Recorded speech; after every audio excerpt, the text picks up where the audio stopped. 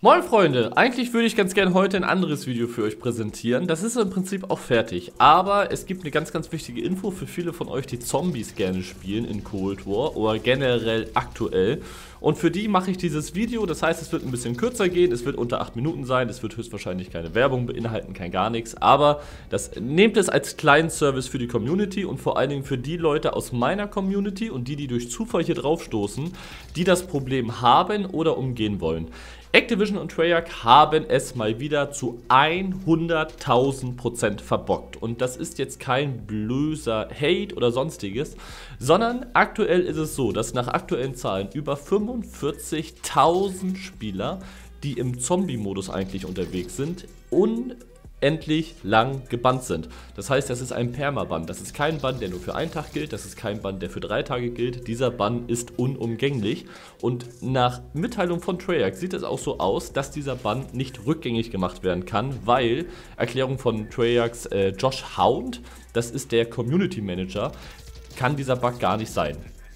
45.000 Leute sagen, doch Leute, kann sein, wir sind selbst betroffen. Einer der größten Zombie-Streamer der Welt ist live in seinem Stream gebannt worden, der jede Zombie-Runde, die er spielt, live streamt mit dem Bug. Und das ist der Bug 630 Nuclear Sale Bug. Viele von euch werden diese Einblendung hoffentlich noch nicht gesehen haben. Ich weiß aber von einigen aus der Community, die mir auf Discord darüber berichtet haben. Das heißt, für euch, wenn ihr mal Probleme mit dem Game habt, wenn ihr vielleicht Fragen habt, das Game lässt sich nicht mehr installieren, ihr könnt irgendwas nicht spielen, ihr habt einen Bug, einen Glitch, kommt auf den Discord, schreibt einfach in den Community-Chat eure Fragen. Da sind mittlerweile sehr, sehr viele Leute, die sich mit vielen Dingen davon auskennen und auch ich gucke da zwischendurch rein und ihr kriegt die Antworten, die ihr braucht. Dieser Nuclear Sale Bug entsteht aktuell, und das sind die Randbedingungen, wenn ihr über Battle.net Activision Blizzard, also online auf dem PC spielt und wenn ihr auf High Rounds in Zombies geht. Es gibt Berichte aktuell darüber, dass das erst ab Level 50 in Zombies geschieht. Ich habe jetzt mittlerweile Berichte bekommen, dass das ab Level 45 bereits soweit ist. So wie es aussieht, würde ich also als kleinen Tipp vorab für euch, wenn ihr Zombies gerne spielt und auf High Rounds geht, spielt maximal bis Level 44 bei Zombies. Sobald ihr über Level 44 oder Stufe 44 in Zombies seid, kann es passieren, dass euch euer Game permanent gebannt wird. Und ich habe schon von sehr, sehr vielen Leuten aus der Community gehört, dass sie jetzt eben gesagt haben, ja, ich kann jetzt nichts machen. Und der Support von Activision und Treyarch wird euch nicht helfen. Treyarch hat das Thema nämlich angesprochen vor drei Tagen auf Twitter. Und wie ich das schon sagte, der Community Manager sagte, nein, diesen Bug kann und darf es nicht geben. Das ist Quatsch. Alle Spieler sind, äh, ich sag mal, zu Recht gebannt worden. Und Leute, ich habe so viele Beweise gesehen. So, dieser große Zombie-Streamer, der seit vielen Jahren Zombies spielt, der alle Runden öffentlich macht, der hackt dort nicht, der cheatet nicht, der macht keinen Bug-Abuse, kein gar nichts. In den Files mit dem letzten Update gab es wieder Probleme von Treyarch. Das haben wir teilweise schon in anderen Videos gesehen, das haben wir teilweise auch schon in Warzone gesehen. Zum Beispiel haben sie es mit dem letzten Update von vor ein paar Tagen geschafft, dass die Waffen-Perks, die ihr in Modern Warfare Waffen in Warzone benutzen könnt, unter anderem Slide of Hand, dass die nicht mehr funktionieren. Ein Grund dafür gibt es nicht, das wird auch nicht erklärt, das kennen wir mittlerweile. Es werden drei Sachen geändert, zwei Sachen passieren aus Versehen, fünf Sachen werden gar nicht bemerkt, außer von der Community.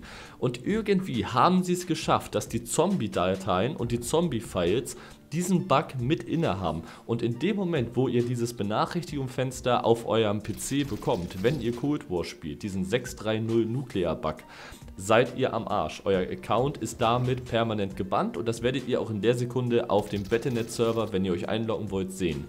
Es gibt aktuell keinen Fix dafür. Das heißt, wenn ihr permanent gebannt seid, habt ihr zwei Optionen. Ihr könnt das Spiel neu kaufen, einen neuen Account machen oder ihr habt Pech gehabt. Das sind wirklich die einzigen beiden Optionen, die ihr aktuell habt, um da irgendwas zu machen.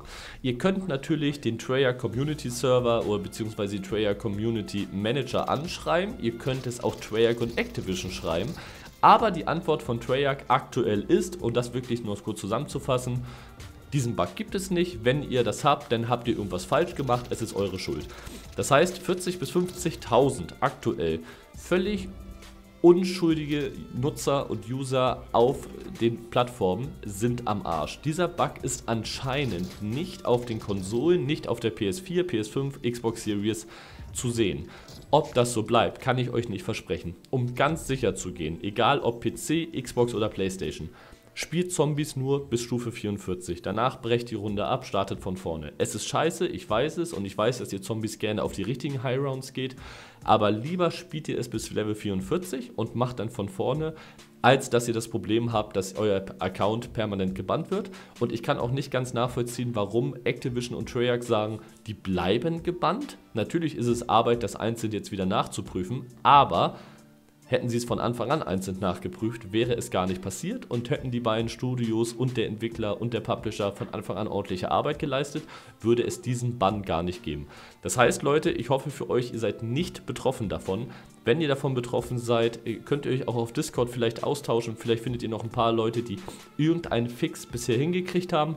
Nach meinem aktuellen Stand ist es aber so, dieser Permaman bleibt und ihr könnt euch das Game im Prinzip aktuell abschmieren. Lasst gerne ein Like da, lasst gerne ein Abo da. Ich wünsche euch einen schönen Sonntag. Ich bin raus. Haut rein.